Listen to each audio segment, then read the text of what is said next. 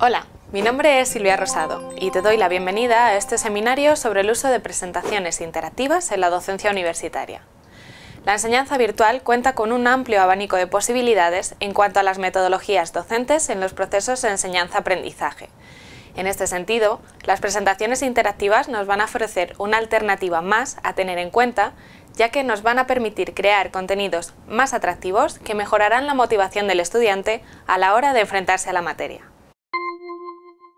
Este seminario nos va a permitir conocer la utilidad de las presentaciones interactivas como instrumento metodológico y de motivación en la enseñanza superior semipresencial, mostrar distintos casos e iniciarnos en el uso de la herramienta BIS para realizar nuestras presentaciones interactivas. Por último, cómo publicar e insertar este nuevo contenido a modo de presentación interactiva en cualquiera de nuestras asignaturas de campus virtual o en otros entornos. En este seminario trataremos distintos contenidos. De entre todas las herramientas para la creación de presentaciones existentes, nos vamos a centrar en la herramienta BIS.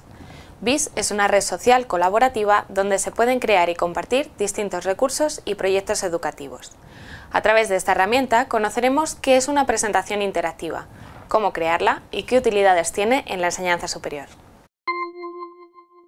Abordaremos también las diapositivas más avanzadas. Estas harán que tus presentaciones sean mucho más interactivas añadiendo flashcards. Son diapositivas con puntos calientes que dotan de información adicional. Por ejemplo, podríamos crear una flashcard para mostrar el potencial del editor online de la herramienta BIS, señalando con sus puntos calientes las herramientas para explicar cómo añadir fotos, páginas embebidas, vídeos o actividades. También podrás introducir a tus presentaciones un tour virtual. En él puedes añadir mapas de Google Maps y chinchetas con información sobre lugares específicos dentro del mapa. Por ejemplo, podríamos mostrar el campus de Móstoles y sus edificios más representativos, ofreciendo información adicional sobre cada uno de ellos. Y por último, diapositivas con vídeo enriquecido.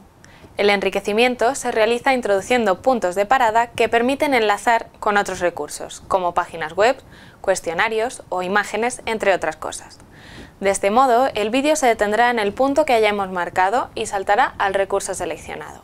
Por ejemplo, un vídeo enriquecido para explicar cómo introducir tu presentación interactiva hecha con BIS dentro de tu asignatura de Moodle. Las presentaciones interactivas creadas con BIS se pueden compartir a través de las principales redes sociales o descargar en formato SCORM válido y compatible con tu asignatura de Moodle.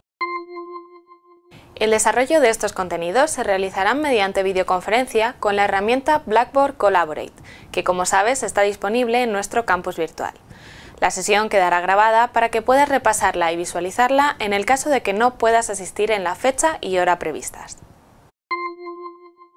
Además, contaremos con un foro para resolver todas las dudas e inquietudes que te puedan surgir. Este foro se mantendrá abierto durante la semana posterior al desarrollo de la videoconferencia. Espero que este seminario sobre presentaciones interactivas te ayude en tu docencia y te animes a utilizar esta nueva herramienta. Nos vemos pronto.